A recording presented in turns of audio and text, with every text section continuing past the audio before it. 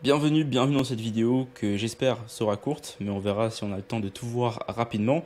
Euh, présentation des outils de Meta pour la version Pro, c'est-à-dire la version qui va gérer les publicités. Je vais vous montrer l'essentiel de ce qu'on utilise nous aujourd'hui pour gérer des comptes publicitaires qui dépensent environ 50 euh, à 50 000 par mois en euros et euh, qui génèrent des centaines de milliers par mois euh, donc voilà les, éléments qu'on va utiliser aujourd'hui pour les business en ligne. Il y a d'autres choses qui sont dans l'interface, mais c'est pas, on n'utilise pas tout ce qui est dedans. Je vais vous montrer l'essentiel de ce qu'on utilise. Les liens, les différentes interfaces que je vais vous montrer seront dans la description. Comme ça, vous y aurez accès assez rapidement. Et pour ceux qui souhaitent se faire accompagner sur la publicité, on a aussi un lien vers une communauté gratuite dans laquelle on aide les business en ligne à euh, faire leur publicité de façon gratuite. Donc, vous avez les différents outils de méta et pour pouvoir y accéder, la partie publicitaire, pour commencer, vous devez créer un compte. Quand vous allez créer un compte, vous devez mettre le nom de votre boîte ici, votre nom à vous, ainsi que votre email pro. Si vous avez un mail Gmail ou autre, il y a moyen que le mail de confirmation de méta arrive dans votre section promotion. Donc euh, quand vous dans la section promotion, allez dedans, cliquez dessus et validez. Ça va prendre un petit peu de temps à charger pour valider le compte, c'est normal, c'est la première fois que vous allez utiliser l'interface de pub. Donc une fois que c'est fait, vous allez arriver devant l'interface qui s'appelle Meta Business Suite, qui est ici et que vous allez pouvoir naviguer.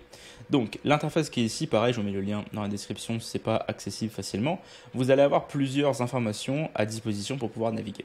Première information que vous avez sur le côté, c'est votre espace de utilisateur. Donc vous avez les personnes au milieu qui sont les personnes comme vous, donc les personnes, c'est-à-dire vous le créateur du compte, et les différentes personnes de l'entreprise. Donc si vous avez des employés qui voudraient accéder à ça pour pouvoir faire des publicités, vous pouvez leur envoyer directement les accès via l'interface personne.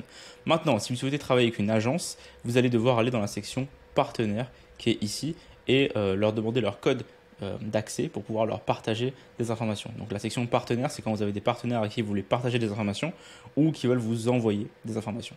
Ce qu'il faut comprendre, c'est que l'interface Business Suite ici de Meta, elle est, euh, c'est comme si vous avez un appartement. vous avez une maison, un appartement qui est la Meta Business Suite. Dans cet appartement, vous avez plusieurs pièces et chaque pièce est un compte publicitaire. Donc la section qui est ici, c'est un compte publicitaire dans lequel vous allez pouvoir mettre plusieurs objets, plusieurs lits qui vont être des pages par exemple. Donc, les comptes publicitaires, concrètement, c'est l'endroit sur lequel vous allez euh, paramétrer les publicités de façon concrète qui vont être envoyées aux clients. Donc les comptes publicitaires, c'est là où vous mettrez votre carte bancaire, c'est là où vous allez choisir les devises de euh, dépenses du compte publicitaire, et c'est là où l'argent va être investi par votre entreprise pour pouvoir euh, dépenser de l'argent et faire de la publicité. Donc pour créer un compte publicitaire, c'est très simple, vous allez sur Ajouter en haut, et vous suivez en fait les différentes étapes que Meta va vous donner pour pouvoir créer le compte publicitaire. Vous allez pouvoir choisir votre devise, etc., etc., et le nom pour pouvoir le créer, et ça va s'ajouter au fur et à mesure dans la section du centre. Deuxième information, vous avez la section qui s'appelle page. Dans la section page, vous allez pouvoir ajouter sur Meta les différentes pages pour pouvoir euh, montrer vos publicités avec le nom de votre page. C'est important parce que vous allez pouvoir, vous, devez en fait avoir une page pour pouvoir faire des publicités. Meta ne vous laissera pas faire des publicités, même que sur Instagram, si vous n'avez pas de page publicitaire. Donc il vous faut une page. Vous allez pouvoir cliquer en haut sur ajouter une page existante ou bien créer une page juste ici pour pouvoir ajouter une page si vous n'en avez pas encore. Et donc le but c'est que vous puissiez euh, dans le compte pub sélectionner la page et dire utiliser cette page là comme support publicitaire. Meta vous, vous force à avoir une page même si vous faites des publicités que sur Instagram. Maintenant vous avez la section forcément compte Instagram. Vous allez pouvoir pareil ajouter votre compte Instagram directement ici pour pouvoir faire des publicités à travers ce profil Instagram, assez important. Et vous avez aussi maintenant les comptes WhatsApp parce que vous pouvez faire des publicités sur WhatsApp. Deuxième partie très très importante, c'est la partie source de données. Donc avant on avait des pixels qui étaient ici, qui étaient le moyen de tracking que, Meta a utilisé. Maintenant on va avoir des ensembles de données. Donc l'ensemble de données c'est euh, un peu la même chose qu'un pixel. Vous allez pouvoir pareil en créer un directement en cliquant sur le bouton qui s'appelle ajouter au-dessus pour créer des, des nouveaux pixels.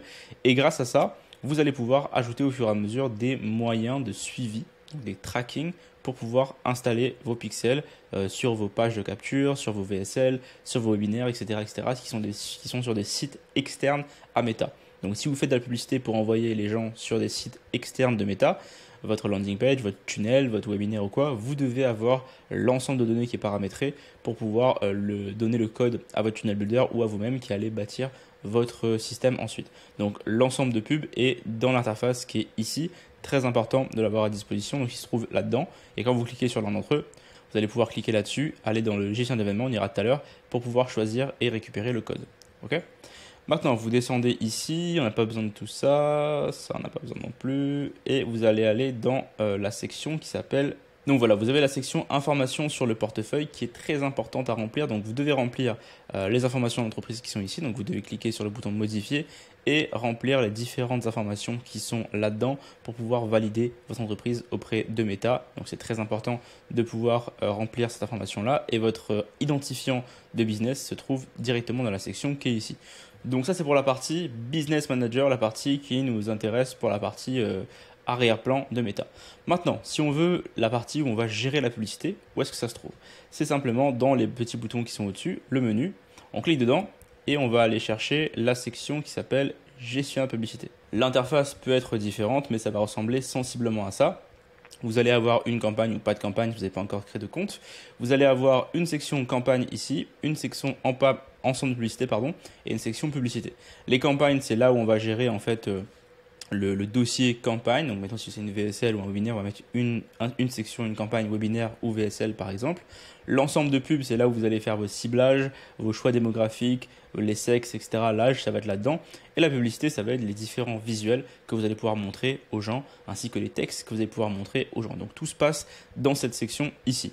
Ensuite, vous avez la section qui s'appelle audience, qui est donc la création d'audience. C'est là où vous allez pouvoir en fait créer vos différentes audiences personnalisées. Donc par exemple, si vous voulez faire une audience des gens qui vous suivent sur Insta, vous allez pouvoir paramétrer cette audience-là ici. Vous voulez faire une audience de tous les gens qui ont cliqué sur vos publicités, vous allez aussi pouvoir euh, créer votre audience directement là-dedans et l'utiliser ensuite dans la partie ensemble de pubs. Vous pouvez ensuite cliquer sur la partie euh, tous les outils et aller chercher euh, la section qui s'appelle gestionnaire d'événements. Donc gestionnaire d'événements juste ici. Dans cette section juste ici, c'est donc là-dedans que va se passer les différents événements pour le tracking de pixels et d'ensemble de données pour pouvoir mettre sur votre tunnel. Si vous ne comprenez pas ce que je viens de dire, je vous réfère à une autre vidéo euh, sur la chaîne ou sur la communauté. Si vous cherchez votre pixel, allez dans source de données juste ici et vous allez trouver votre pixel euh, dans la liste qui est là ou si vous n'en avez pas de liste, vous allez avoir un seul pixel. Cliquez sur l'un d'entre eux et ensuite vous allez pouvoir en fait hop cliquer sur un des boutons qui se trouve ici, ajouter des éléments. Vous allez faire ajouter une nouvelle intégration et là vous allez pouvoir choisir ce que vous voulez ajouter, donc pixel, API, etc. Donc vous allez par exemple faire pixel, vous allez faire ajouter le code manuellement ou l'envoyer à quelqu'un ou faire la configuration partenaire. Et donc là, vous allez pouvoir copier votre code pixel. Si quelqu'un vous le demande un jour, c'est euh, là-dedans. Donc faites euh, installer le code ici, copier le code. Et là, vous aurez votre code pixel qui est copié dans votre répertoire. Euh, si vous avez des problèmes de blocage ou quoi, vous pouvez aller dans la section qui s'appelle la section qui s'appelle accueil assistante business, donc là accueil assistance business, où ça va vous dire si vos comptes sont restreints ou sont fonctionnels. Euh, sinon, un dernier point qu'on pourrait regarder, ça serait d'aller voir dans la facturation et paiement. C'est ici que vous allez pouvoir vérifier vos comptes bancaires, que tous les comptes sont payés à temps et à jour. Et si ce n'est pas le cas, vous allez pouvoir en fait vérifier les comptes qui ne sont pas à jour et qui ne sont pas payés. Cliquez dessus pour pouvoir ajouter les comptes bancaires, payer directement sur le côté ou bien changer les moyens de paiement là-dedans.